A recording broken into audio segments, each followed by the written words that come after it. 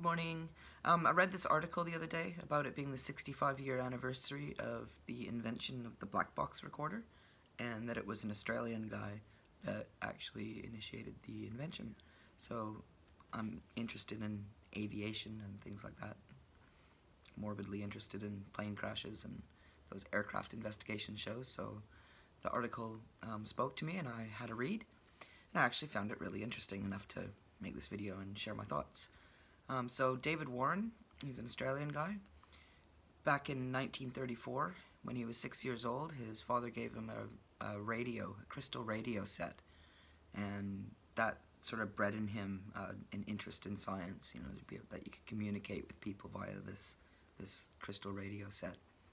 And back in 1934, that was that would have been quite interesting for a young young boy.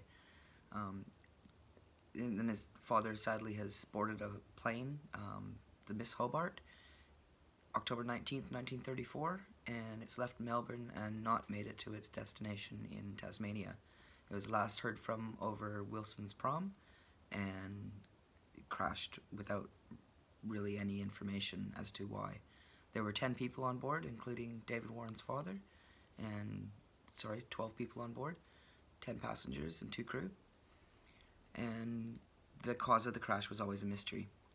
So, as you can imagine, this little boy, he's had these two things happen. He's had his father give him this incredible gift of the radio, crystal radio for communication, and has sadly left, lost his life in this plane crash. And so I can imagine him processing this over his childhood and, and it breeding a you know desire to get into science and something to do with planes. And so he did. Went down path of an aviation career in research and working out why planes crash when they crash. And so after World War II, plane crashes became more um, normal, I guess you could say. Planes were, jet planes were flying higher and faster. In 1954, David Warren was a research scientist at the Aeronautical Research Lab here in Australia.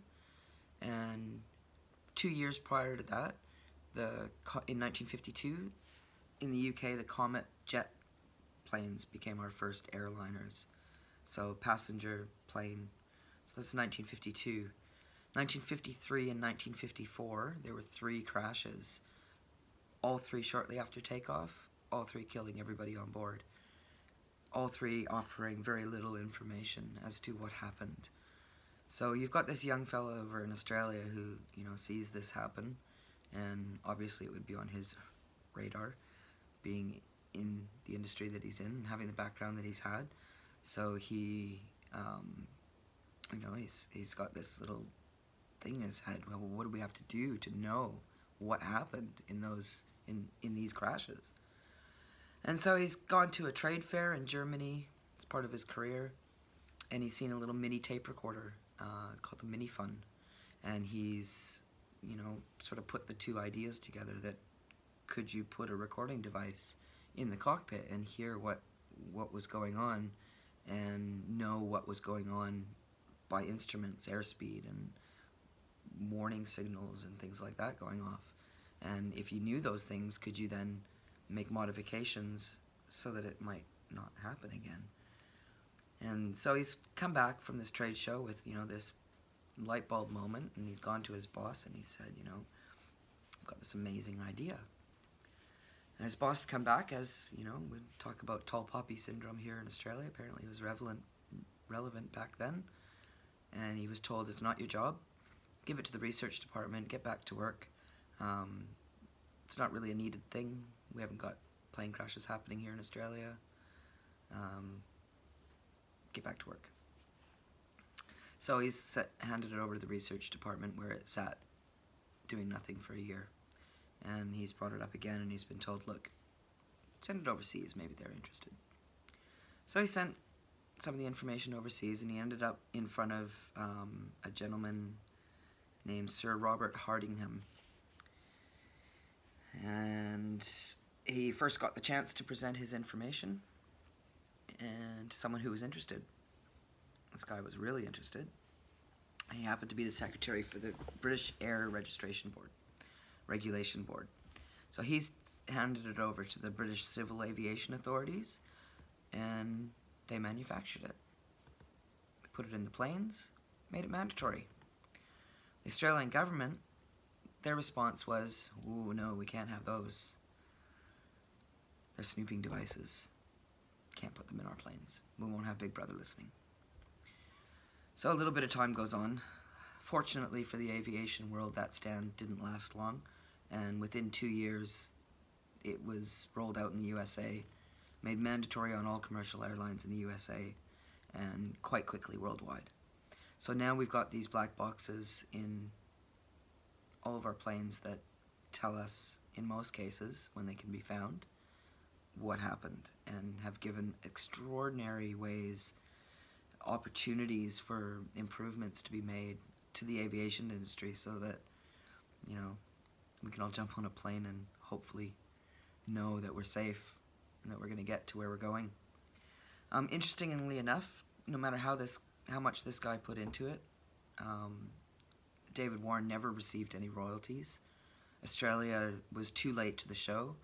Um, I believe there was a thousand pound payment made to the Department of Defense for the original IP, um, but nothing to David Warren, who lived and breathed this. I can imagine for it to come to such a interesting fruition.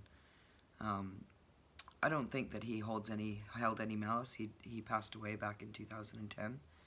Um, his original demo unit is in the National Museum of Australia, and in 2002 he was officially recognized for his work and for his invention, and he was given the Australian officer, sorry, the officer of the Order of Australia for aviation science. So quite amazing. Um, I, it made me want to know more about his career. Um, I, I, love delving into things like that. Sometimes it can be a distraction, but have a read of the story if it's something that interests you. Um, probably what my biggest thing that was interesting was the links between being given that crystal radio set and losing his father in the in the plane crash. So having that trauma, and then however he dealt with it through his life, bringing it to such such a life saving invention. So thank you to the uh, authors of the article that wrote it, and I hope you enjoy. Bye.